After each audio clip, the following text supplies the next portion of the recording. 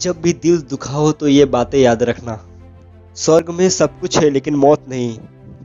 दुनिया में सब कुछ है लेकिन किसी को सुकून नहीं। इंसान में सब कुछ है लेकिन सब्र नहीं। कुछ ना कुछ कमी सब में है लेकिन कोई चीज़ परफेक्ट नहीं। सब में गुड़ भी है और गुड़ भी। किसी का गुड़ दिखाई दे तो अपने मन को कैमरा बना लो। उसके गुड़ों को अपना लो। दूसरों से जीना सीख लो।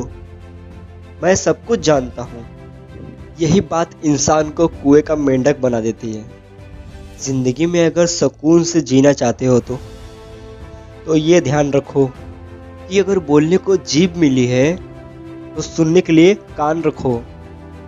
ये एक बहुत बड़ा कड़वा सच है कि हम अच्छा दिखना नहीं अच्छा बनना नहीं अच्छा कहलवाना चाहते हैं। और यही दिखावा हमारे दुखों का कारण है। दिखावा करने से ज़िंदगी में कुछ हासिल नहीं होता। धूम की ज़िंदगी जीने से लाख गुना बेहतर है कि ढंग की ज़िंदगी जियो। जब लोग आपकी बुराई करते हैं तो बिल्कुल परेशान ना हो। वास्तव में वो लोग आपको महत्व देने का कोई और रास्ता जानते ही नहीं। यदि कोई व्यक्ति आपसे जलता है तो इस चीज़ में उसकी कोई गलती नहीं है, बल्कि आपकी काबिलियत है, जो उसे जलने पर मजबूर कर रही है। तुम सब्र करो और अपने बारे का इंतज़ार करो, क्योंकि मौका इस दुनिया में सबको मिलता है। दूसरों की जिंदगियों में झांकने से कुछ नहीं मिलने वाला। मेरी बात का यकीन मानिए, आपकी ज़िंदगी में ऐसा बहुत कुछ है, जो इंतज़ार कर रहा है कि आप अपनी ज़िंदगी में झाके।